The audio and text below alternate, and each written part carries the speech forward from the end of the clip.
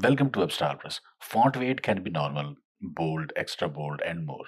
If you use custom font in website or in any app, you have to download font files for font variations and create font face for each variation in CSS. Using multiple font variations require multiple font files. This is becoming a thing of past. You can use one font file and use font variations using only one font file. It will speed up your website, keep CSS small, less server requests, and there are many other benefits. In this video, we will look into that. Before that, give this video a thumb up and subscribe to the channel because I am bringing you similar content on this topic. Likes, comments help me understand if you like the topic or not. Okay, back to the topic. We have this HTML page and we want to display text in different variations using custom font.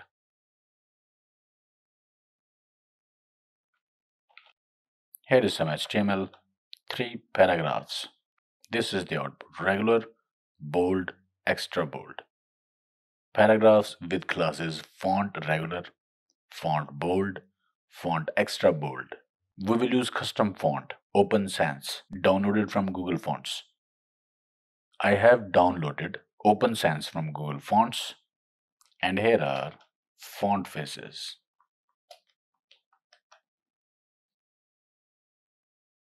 I'm using three different font files to display normal, bold, and extra bold variation in my web page.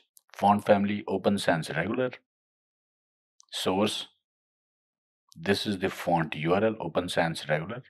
Format is WOFF2. Second font face. Font family Open Sans Bold. This is font file Open Sans Bold. Font family Open Sans Extra Bold source this is font file dot woff2 so here are font regular font bold font extra bold. And here we applied font families to the text. So this one is regular this one is bold this one is extra bold.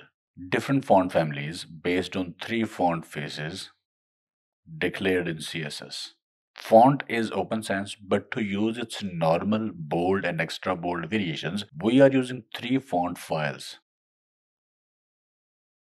It can be improved. So how can we use one font file to get three font variations here? By the way, these font files are here. Index.html in the same directory, Open Sans Bold, Open Sans Extra Bold, Open Sans Regular. Let's create another font face let's comment this code. And here is. Another font face. Font family open sans. Url is this one. This is one font file and it's in .ttf file format. True type. Now for the paragraph let's use this font family. We have three paragraphs. And here is the paragraph now font family is this Open Sans. Now how can we use that same font file to achieve different font variations here? Regular, bold and extra bold. I will comment this one and add font variation settings. WGHT 400, WDTH 100 and we'll comment this font family and apply this font variation settings. And for extra bold, font variation settings, WGHT 800. And if it confuses you, we can delete it from here and place it here. Font family Open Sans. This one. So one font face containing one font file to create these three variations regular bold and extra bold by using this strange syntax. So why 400 700 and 800 because we downloaded this open sans font file from google fonts and for open sans font google fonts has this specific implementation. 400 font weight for normal 700 for bold and 800 for extra bold. Now this is a variable font file. Support for variable font is inside font file. Font file is made in this way that it supports variations. You cannot take just any font and use it as a variable font. Let me show you. So go to fonts.google.com and check this option, show only variable fonts. And see we have got many fonts. And Open Sans is one of them. So Open Sans is a variable font. Open it. Now we can download it from here, download family. But before that, if we select font variations from list below, like for regular 400, bold 700, extra bold 800. So these are three variations. If we select these variations, it gives us CSS link and CSS rule to use in our CSS file. By using this method, you will use static font. It's not variable font. You will have to download this font to use its variable version. Download from here. I have already downloaded it, Open Sans zip, and here is the folder Open Sans it's got a static folder. If you want to create font faces separately, use static folder. It has got all the files, multiple font files, one file for each variation. Bold is different, for extra bold is different, for italic is different, light is different, medium, regular, semi-bold, semi-bold, italic. So we've got multiple font files for multiple font variations, but these are a lot of files. And if you see in this CSS, we used WOFF2 version, not TTF. And this WOFF2 version is right here, besides index.html page. I have converted TTF file to WOFF2 format and then used it because WOFF2 is lightweight and it's sufficient. To convert TTF into WOFF2, I have used a tool called Transfonter.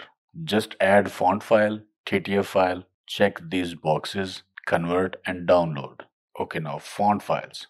If you take a closer look, this downloaded folder has got additional files. This was the folder named as static, containing static fonts. And here we've got two more files, TTF format, and its name is Open Sans variable font. It's got two extra attributes in its name, WDTH and WGHT. I used this version, not italic version. Here we have used it. This is the folder path and then the font path. So it's got two extra attributes in its name. It means it will provide font weight variation and font width variation or font stretch variation. Now notice another thing. I had used WOFF2 file format for font for these three variations here but not here. Here it is .ttf. Our variable font file is in TTF format. I have used TTF for variable font because Transfonter could not preserve its variable properties when I converted it into WOFF2. Now about font variation settings CSS property. This property is special. Let me show you one more thing. We've got this weight WGHT 400 and we've got WDTH. It's 100 so observe this 50 and you see it kinda squeezed 100 so font variation settings. It can take multiple names and values or attributes. This is weird css syntax. Mdn has got details on implementation of font variation settings. Font variation settings CSS property provides low-level control over variable font characteristics by specifying the four letter axis names of the characteristics you want to vary along with their values. WGHT, this is weight.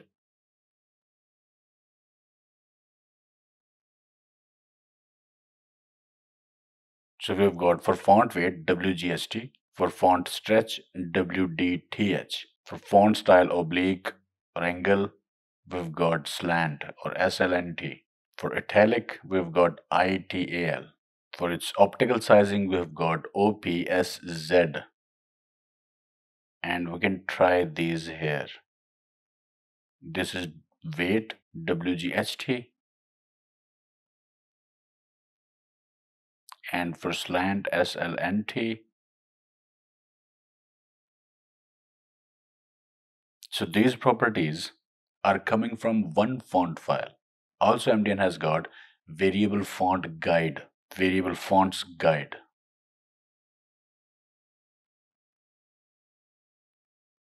Weight, width,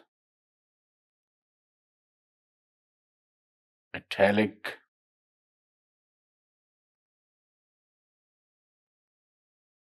slant, and optical size.